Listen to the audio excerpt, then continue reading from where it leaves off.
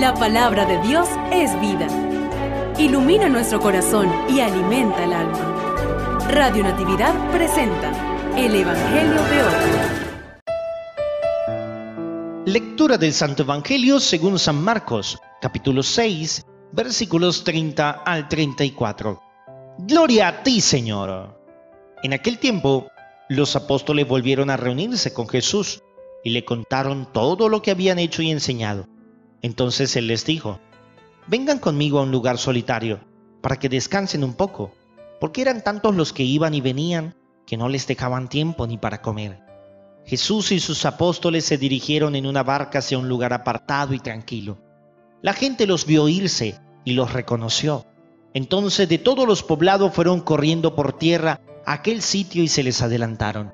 Cuando Jesús desembarcó, vio una numerosa multitud que lo estaba esperando y se compadeció de ellos, porque andaban como ovejas sin pastor, y se puso a enseñarles muchas cosas. Palabra del Señor. Gloria a ti, Señor Jesús. Un saludo de paz y bien para todos aquellos que nos escuchan a través de Radio Natividad, la emisora católica del Táchira, donde queremos ser parte de tu fe. No te imaginas cuánta alegría, cuánto gozo sentimos cada vez que nos reunimos en esta casa de oración para grabar estos evangelios, para predicarte y llevarte el mensaje de la buena nueva de Jesús. Queremos que tú escuches la noticia y la aceptes en tu vida. Y esa noticia la hemos escuchado hoy en el texto del Evangelio de San Marcos. Hay unos elementos hermosos aquí que ojalá puedan entrar también en tu vida. El primero de ellos, esa intimidad con el Señor. Jesús, que después de cumplir con la tarea del día junto con sus apóstoles, les dice, vengan conmigo a un lugar solitario para que descansen un poco. Nuestro descanso está en el Señor. Nosotros tenemos que buscar siempre, a pesar de lo atareado que pueda estar nuestra vida, ese espacio, ese lugar, ese momento íntimo, silencioso, personal con Jesús. Tú lo buscas, lo tienes, lo anhelas, Peor aún, pudiéramos caer en esta pregunta, pero es necesaria. ¿Lo necesitas?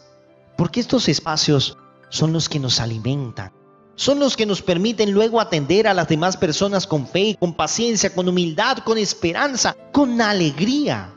Otro hermoso momento es cuando Jesús desembarca, ve esa numerosa multitud que lo estaba esperando y se compadece de ellos porque andaban como ovejas sin pastor. Y se puso a enseñarles muchas cosas. Tú y yo también tenemos esa tarea.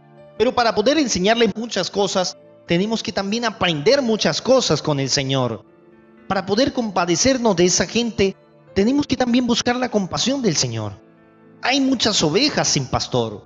Tú también tienes la tarea de llevar consuelo, como laico, como cristiano, como bautizado, de llevar esperanza, fortaleza a los demás. Pero solo si tienes a Jesús podrás lograrlo.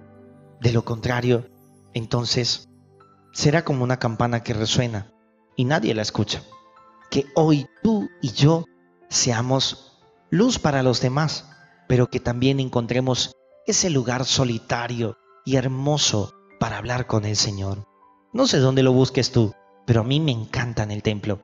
Te invito a que vengas a la capilla de Radio Natividad, una capilla hermosa que es casa de oración. No te olvides utilizar las etiquetas. Los sacerdotes buenos somos más y yo tengo un amigo sacerdote. Dios te bendiga. Gloria al Padre y al Hijo y al Espíritu Santo, como era en el principio, ahora y siempre, por los siglos de los siglos. Amén.